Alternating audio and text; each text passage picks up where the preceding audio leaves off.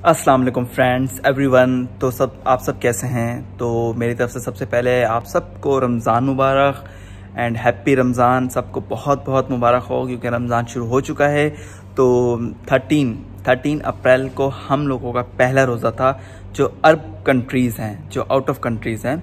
मतलब इनका पहला रोज़ा आज का था, ठीक है?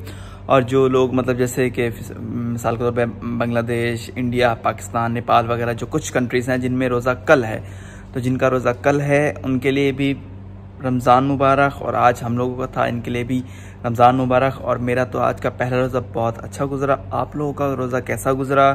कैसा दिन रहा? और क्या क्या किया, क्या क्या नहीं किया? तो आप लोग बताइए। तो मैंने सोचा आप लोगों से कुछ पूछ लें हर कि कैसा गुजरा, कैसा रहा? क्यों अरब अरब कंट्रीज़ में जो हैं, उनको तो पता ही होता है कि कैसा गुजरता है प्रदेशियों का रोज़ा। तो जो लोग, कुछ लोग हैं जो बहुत काम करते हैं रोज़े में भी कभी कभी तो ऐसा होता कि रोज़ा रखना भी मुश्किल बन जाता है। तो कुछ कोई कोई देख के बोलता है कि यार ये रोज़ा नहीं रखता, वगैरह वगैरह कुछ। तो हर किसी को, हर किसी की प्रॉब्लम्स पता होती हैं। कुछ होते हैं सौ में से कोई वन परसेंट जो नहीं रखते होंगे, थोड़ा बहुत, कभी रखते होंगे, कभी नहीं।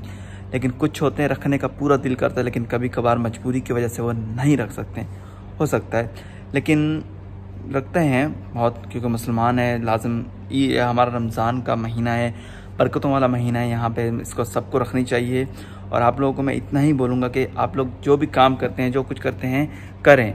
कोशिश करें कि रखें। देखिए, एक जब फ़र्स्ट आप रोज़ा रखेंगे ना तो आपके अंदर एक हिम्मत पैदा हो जाएगी।